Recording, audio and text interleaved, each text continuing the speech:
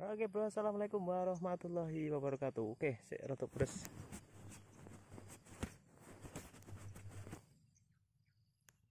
Oke bro, selamat pagi. Apa kabar untuk teman-teman sahabat channel desa di mana pun berada? Jadi hari ini kita sudah berada di lahan sawit lagi. Kita sudah berada di kapling bapak lagi. Dan ini ada kesempatan kita membantu karena masih ada sedikit lahan yang di sebelah bawah itu yang masih belum uh, ini terawat. Belum dibabat juga iya. Terus belum disemprot juga iya karena ada tawonnya yang ada di video saya sebelumnya. Dan oke okay, jadi seperti inilah penampakannya sawitnya sekarang lumayan hijau lumayan bagus. Dan untuk tingkat kesemakan dari apa ya rumput-rumputnya dari gulmanya lumayan aman lah. Kalau dari sawit sih lumayan aman. Dan ini seharusnya udah dibersihin untuk uh, bagian piringannya. Dari piringan tapi untuk buahnya itu buahnya udah merata banget. Udah merata. Nih udah merata. Udah hampir semuanya berbuah dan lumayan bagus. Jadi hari ini saya tuh bakal nyemprot atau meracun rumput gitu. Jadi ini kayak gini nih. Ini kan anak-anak kayu kayak gini nih nanti kita semprot ada pakai eh uh, pembasmi gulmanya. Karena uh, kita harus bertindak cepat. Soalnya yang bakal kita racun ini itu tuh masih ada uh, tawonnya. Ada tawon tawon apa ya? Nah kalau istilah Jawanya tawon das bro jadi rumahnya memang memang gede gitu gantung. Tapi kita nggak tahu posisi rumahnya itu seperti apa sebesar apa kita nggak tahu. Jadi mau nggak mau nanti kita hajar kita semprot dulu biar sekitarnya tuh bersih kering mati jadi aman. Dan hari ini saya tuh bakal nyemprot tuh. Cuman nggak tahu ini posisi uh, airnya dari mana saya nggak tahu juga yang jelas saya udah sampai uh, lokasi dulu. Dan alhamdulillah lumayan puas sih lihat kondisi sawitnya. Mudah-mudahan diberi rezeki terus. Dan mudah-mudahan segera monet untuk akun YouTube saya biar nanti biar bisa bantu ini juga dan bantu kebaikan yang lainnya. Oke lanjut dulu. Saya mau survei air dulu. Mungkin saya mau ganti baju dulu pakai baju lengan panjang. Nanti saya lanjut lagi. Oke? Oke kita lanjut lagi jadi ini saya udah ganti baju. Uh, udah aman. Safety udah oke. Okay. ini racunnya. Uh, racun hijau racun kontak ya. Ini racun kontak. Jadi seperti inilah kehidupan saya sebenarnya. Jadi untuk saat ini pekerjaan saya sehari-hari untuk saya ini pekerjaan saya sehari-hari itu OB office boy. Dan uh, dulu sebelum saya jadi OB saya itu kerja juga kayak gini kerja sawit seperti ini.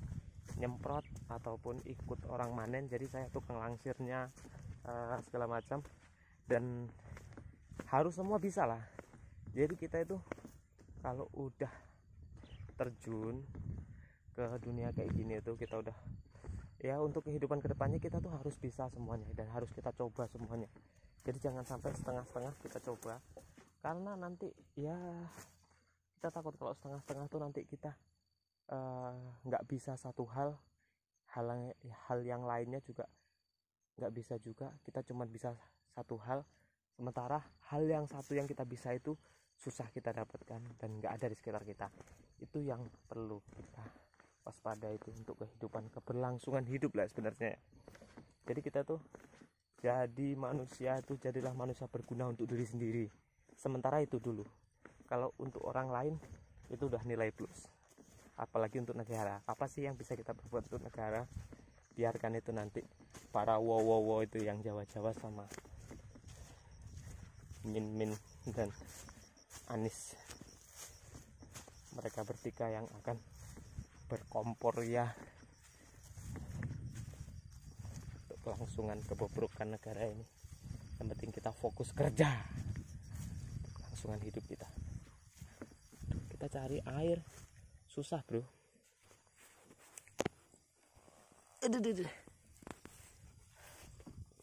Ternyata airnya itu tidak segampang yang saya kira bro. Dan sangat jauh sekali. Jadi nanti saya jauh lewatnya jauh ya. Karena airnya jauh banget itu pun juga kayaknya keruh ya. Waduh kacau. Kacau kacau kacau.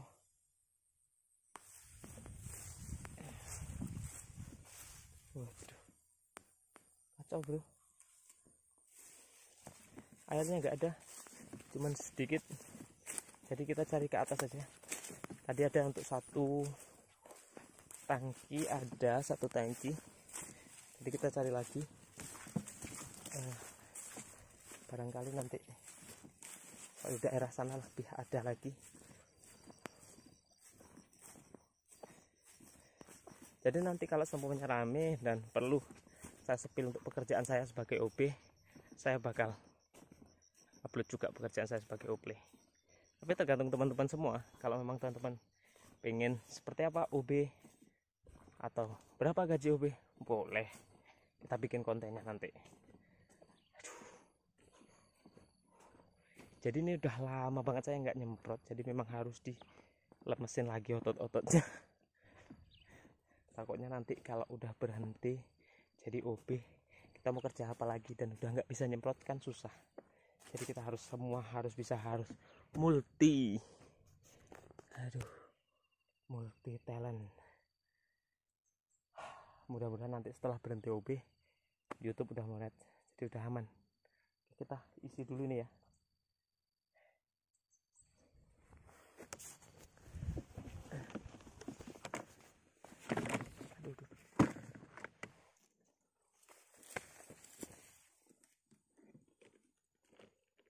Oke bro ini ada air seadanya. Kita isi ya. Kita buka dulu karena ini target kita itu di tempat sarang tawon. Jadi kita dapat beberapa nanti. Mudah-mudahan sih nggak langsung keluar nggak langsung tawuran tawonnya. Nggak langsung mobile gitu. Jadi aman. Dapat dapat dua tangki ini lumayan sih dan ini tadi udah diracik sama bapak.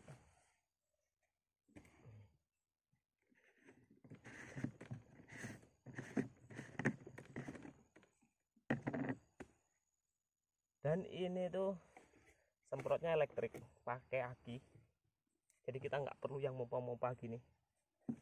Dah, mantap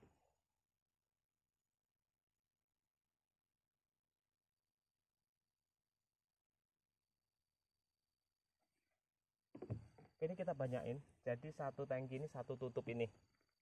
Ini kita sengaja saya banyain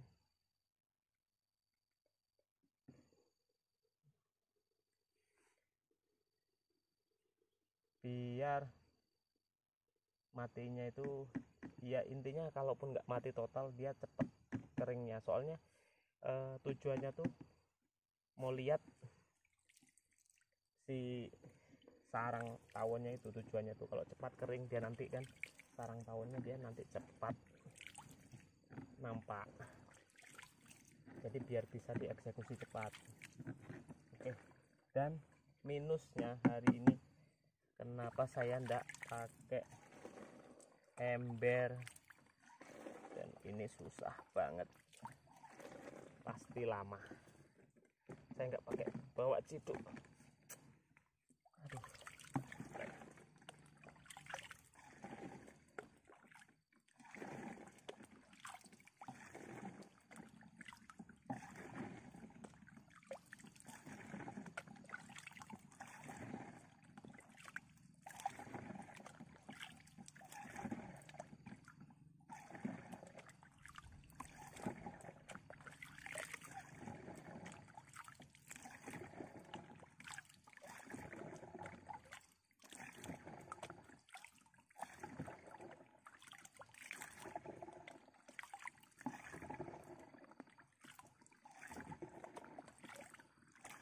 biasanya saya pakai ciduk bawa ciduk itu selalu bawa gayung.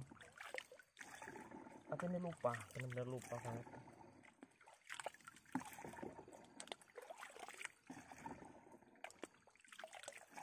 Ada sebenarnya di sekitaran sini tapi saya nggak tahu simpenannya di mana. Mudah-mudahan kita dapat lah ya. Bekas-bekas galon atau apa. Biar nggak susah kayak gini. Ini kacau nih jadi salah satu faktor kenapa harus dibanyain racunnya soalnya air yang diambil itu air-air kayak gini. Air kubangan. Sebenarnya harus hati-hati ngambilnya biar nggak keruh tapi ini karena kita nggak pakai gayung ya udah. Mau nggak mau iya. hati-hati apa pun tetap keruh. Jadi ini agak keruh tapi nggak yang keruh banget pekat gitu nggak masih aman lah.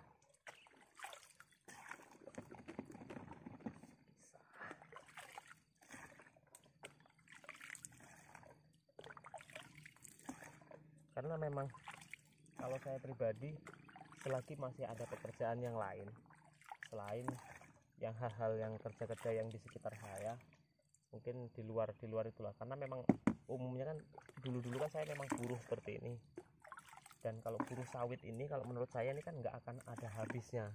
Mau sampai kapan pun itu nggak ada habisnya. Selagi saya masih bisa pakai eh, mempergunakan ijazah dari pekerjaan saya itu saya usahakan pakai itu. Ya mau dibilang budak perusahaan atau apa pun itu karena kita kan pilihan hidup itu kan masing-masing.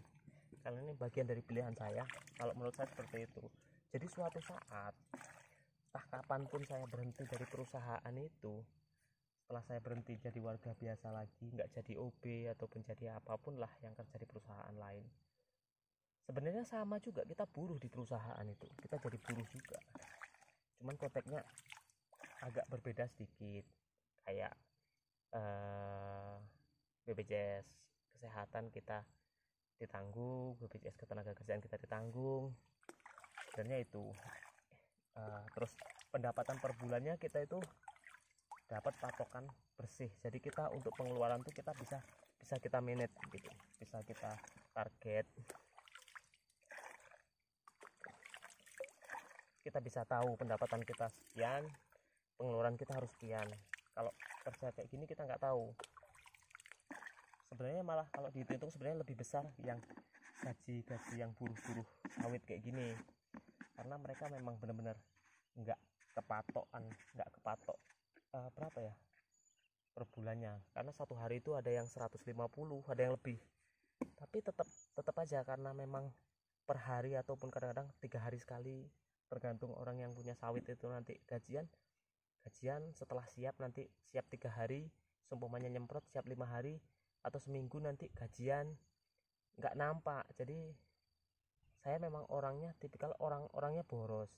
Jadi kalau uang yang kayak gitu tuh malah nggak ngumpul nggak nampak jadinya. Itu makanya saya lebih uh, cenderung lebih memanfaatkan ijazah yang saya punya selagi bisa.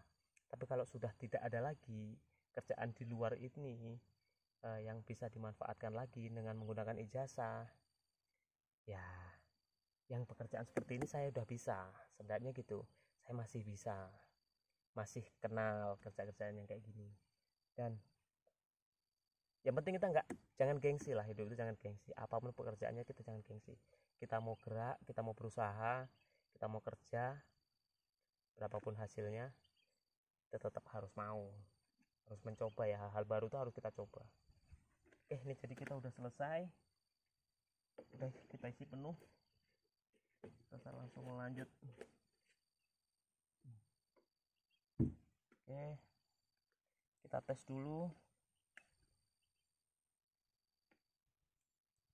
Bawah eh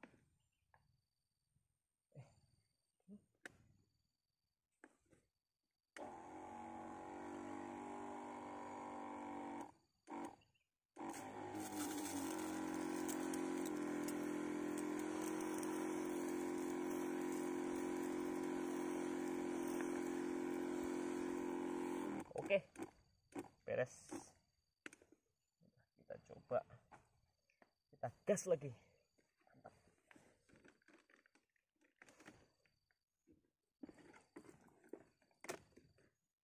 Langsung kita menuju titik. Ya kan kita eksekusi bro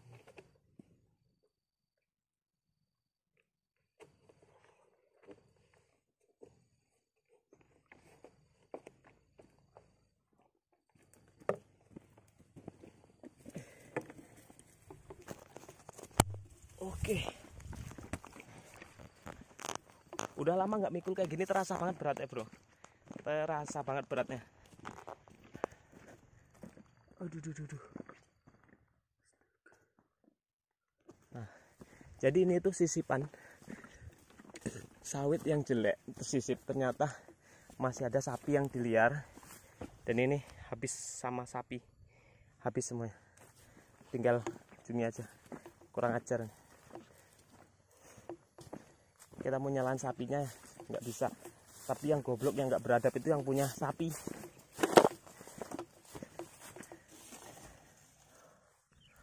Oke kita langsung gas. Aduh. jadi arahnya tuh ke sini. Kan udah udah sempet ini. Saya eh, apa ya udah sempat saya lihat sama bapak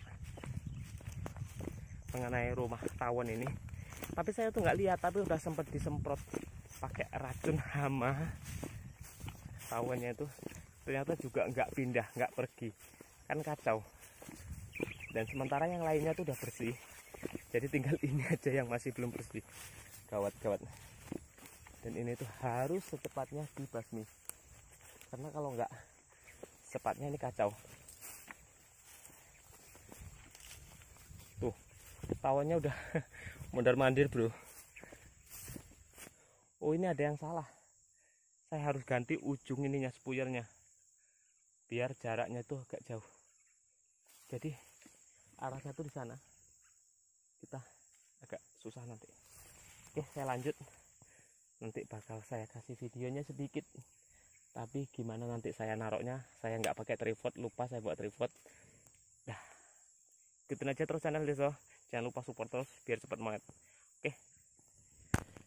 Uh, ngos-ngosan bro ini udah habis satu tangki. Tadi nggak saya rekam. Karena keadaannya darurat bro. Belum kena sengat sih cuman keadaan itu memang benar-benar darurat. Jadi kita tuh memang belum bisa nengok kondisi rumah tawonnya itu di mana. Cuman posisi dia bersarang itu kita udah tahu. Jadi nih ini tuh kalau disemprot ini tuh cuma dua kali nyemprot dua kali tangki itu udah habis. Di sini ini nih ke bawahnya sana tuh udah selesai semuanya di bawah dan udah udah lumayan lah udah bagus lah udah bersih. Dan ini ke atas sampai satu dua tiga empat empat batang lima batang ke atas itu udah nggak bisa lagi karena posisi tawonnya itu di sana.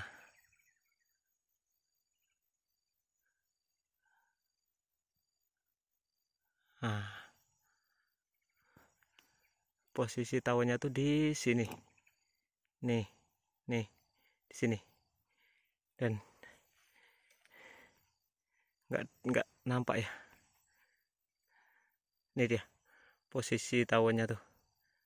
Nah nih ini sebenarnya saat sekarang ini ini banyak banget terbang-terbang ini. Banyak banget lalu lalang deh ntar ya. Jadi kita tuh memang merangkak. Uh.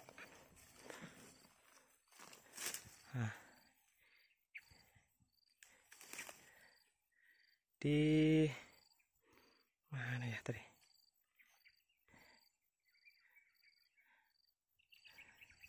ya ini bro nah pas di sini nih. Nih. Ini nih sekarang lagi terbang-terbang itu. Nampak nggak ya?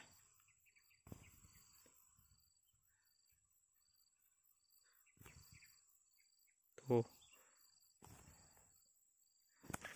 Up up up up up up up. Ada yang ngejar bro. Tuh. Bukan posisinya di situ ini pas pas banget nih.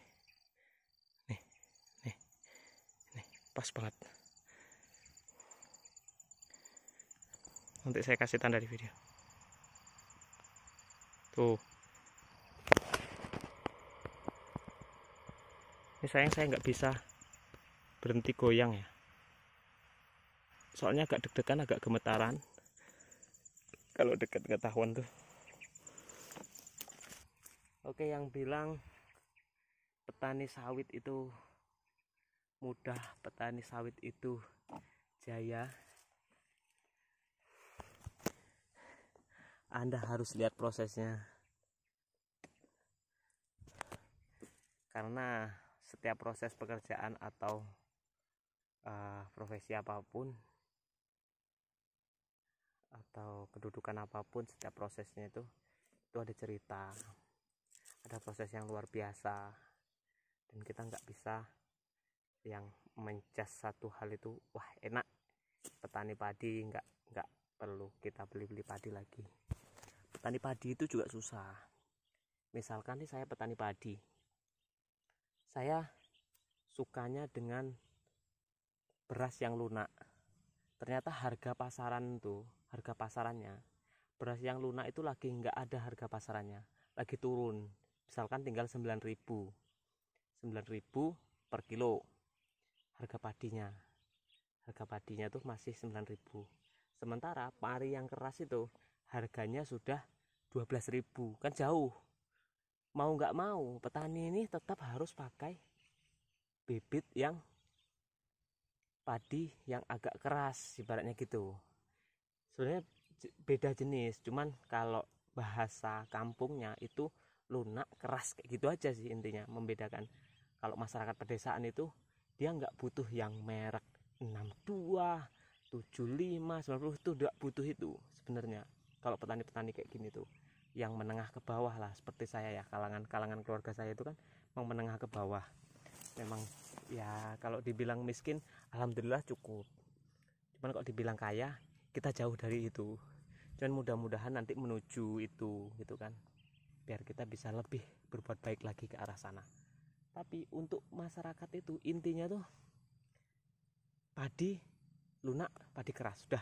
Kalau mereka suka padi yang agak keras atau yang keras atau yang panjang-panjang kayak gitu itu kan harganya beda itu harganya relatif stabil.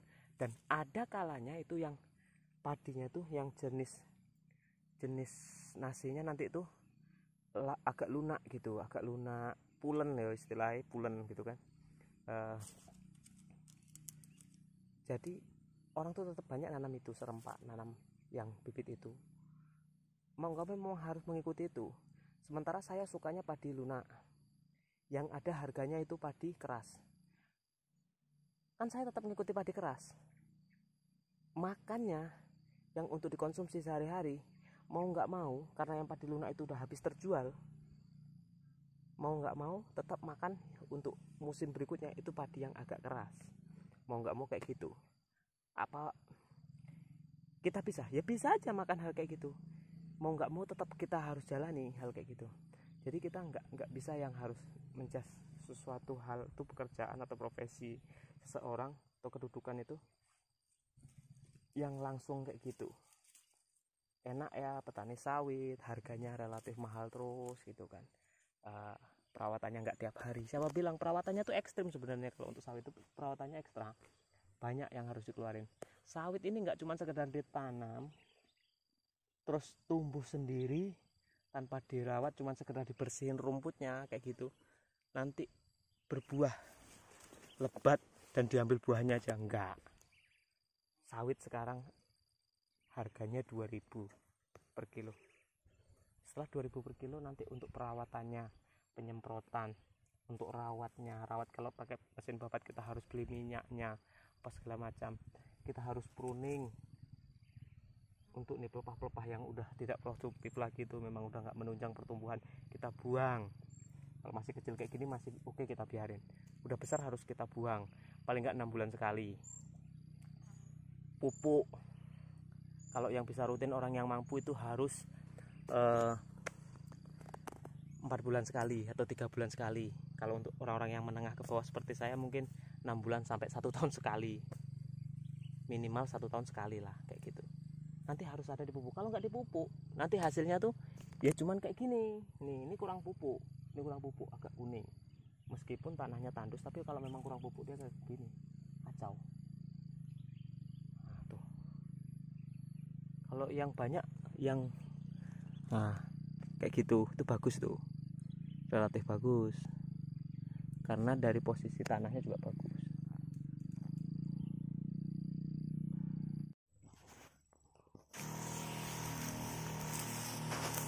Oke kita lanjut lagi. Ini udah mau habis cap kedua atau tangki keduanya. Jadi ini tuh yang disemprot tuh kayak gini. Cuman dipilih-pilih aja. Yang tumbuhan anak kayu kayak gitu kan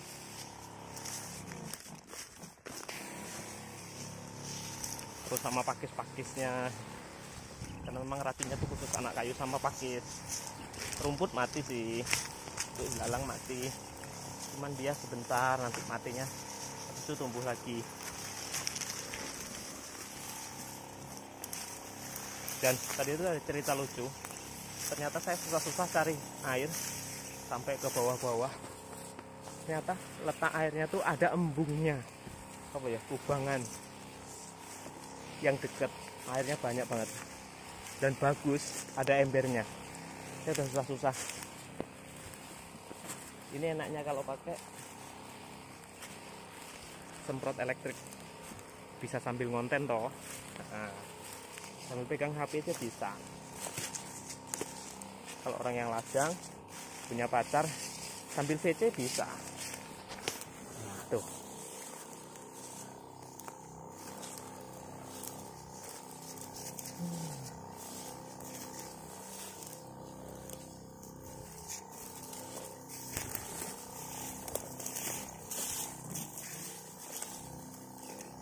cuma dipilih-pilih kayak gini aja. Tuh tuh.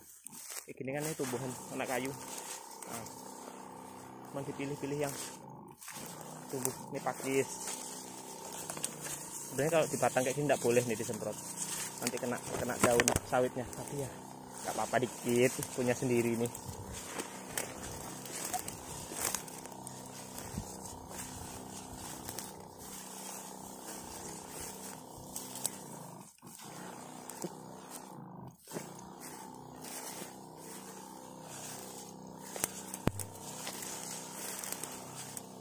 kenapa harus disemprot kenapa nggak dibabat lagi?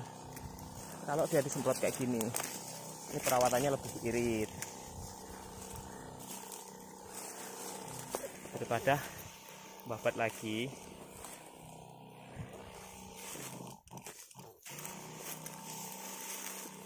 Lebih irit dan ini nanti bakal lebih awet lagi matinya. Karena baru tumbuh dia. Lagi bagus-bagusnya buat Rot nih udah habis dulu. Nah. Sambil dulu.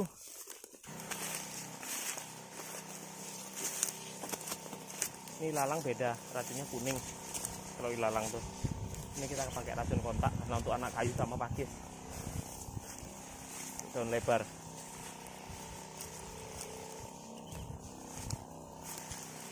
Oke. Wait, wait, wait, wait udah lama banget kita nggak import ngos-ngosan banget luar biasa.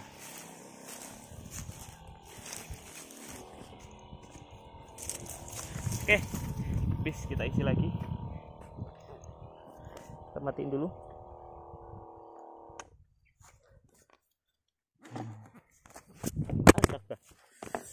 Hmm. jatuh bray. Oke. okay kita lanjut. Cap ketiga mungkin dapat tiga tangki saya udah udah keok. Udah nggak sanggup deh spill nanti tempatnya ya.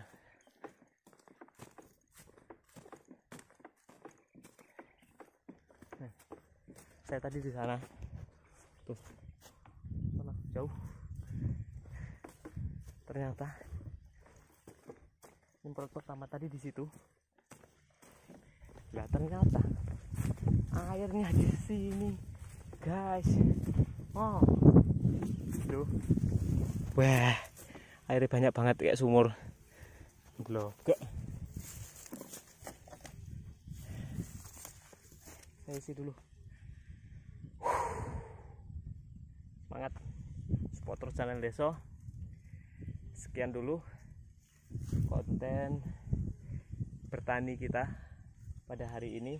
Terima kasih yang sudah selalu support, terima kasih yang sudah selalu ngikutin, dan yang sudah menonton, yang sudah subscribe, yang sudah like, yang sudah komen. Terima kasih semuanya. Mudah-mudahan uh, Allah Subhanahu wa taala yang membalas semua kebaikan dari sahabat-sahabat channel Deso. Dan terima kasih semuanya. Sampai jumpa di vlog saya selanjutnya, di konten-konten saya selanjutnya. Terima kasih. Assalamualaikum warahmatullahi wabarakatuh.